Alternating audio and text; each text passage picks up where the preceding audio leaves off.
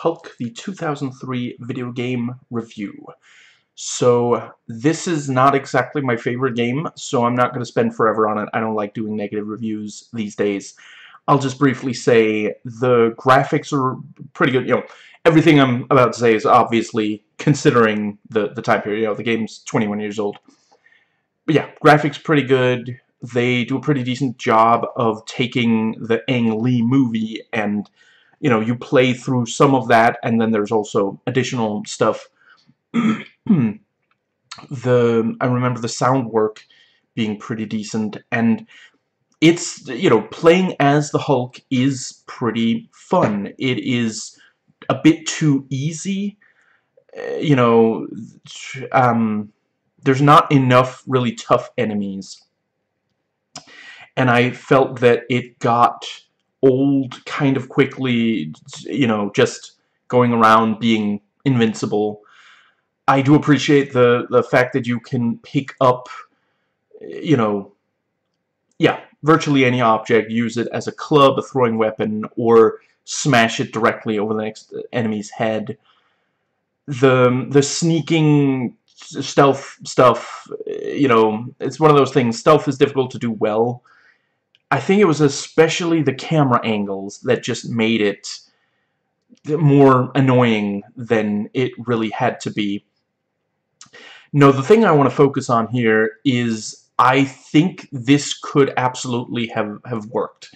You know, I think the the problem is that they didn't really go beyond, you know, obviously it is fun and it is, uh, you know, un the, the surface level of just, you know, this big green monster wreaking a lot of destruction.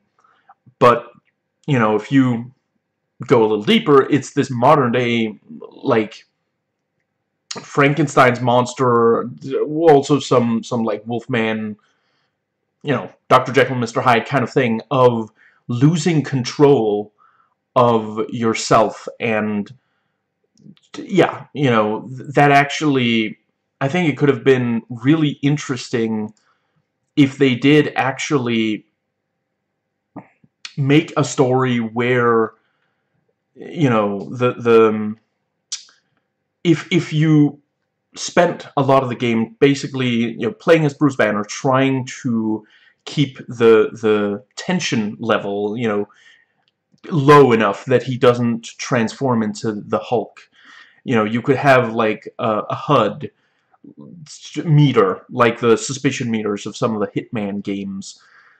And, you know, yeah, if you, if you end up, you know, going to too high a level of tension, you know, it, it could be a failed state. I think it, would be especially interesting if, although the, I realize this would be difficult, it's possible a game like this exists. But, you know, if you yeah, if the tension reaches too high a level, maybe you lose control and then, you know, you're basically like Hulk is moving on his own and you're maybe trying to, you know, either yeah, maybe maybe you're using WASD to try to direct him away from things that you don't, you know, things that have sentimental value or people you really don't want him to hurt. Or you know maybe there's a, a, mini game or or some kind of you know some some tasks you have to some some puzzles you have to solve or something to bring him back to to Bruce Banner. You know some something like that I think could have been a really amazing yeah um yeah right. The the yeah the villains look right from what I know. I I will admit I haven't read as much Hulk as I would like. And they they chose they made some good choices of who to include as as bosses. The animated cutscenes are are nice. And yeah the levels convey the sense that everyone's out to get you which fits quite well with how Hulk must perceive the world and yeah I think that is basic, you know, I'm not the biggest fan of Ang Lee's movie. I do think that it deserved better, but this is also one of those cases where yeah, you know, a lot of people, you know, when they see Hulk, they just want the the destruction, especially if it's a video game. A lot of people, and you know, it's I don't remember enough about 2003, but I, from what I recall, it was not necessarily the best time for like really complex games. You know, this was the same time that they made the second Deus Ex game, which way over streamlines the the gameplay of the first one.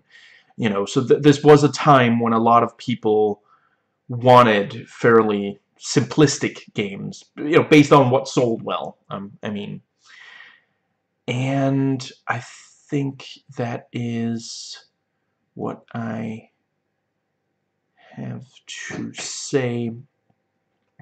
But yeah, um, I do. I definitely do think that it's an interesting game, and it could have been much, much worse. You know, I, I did enjoy, you know, I played all the way through it, so the, the, you know, the fact that it got old didn't, you know, fully deter me from, but yeah.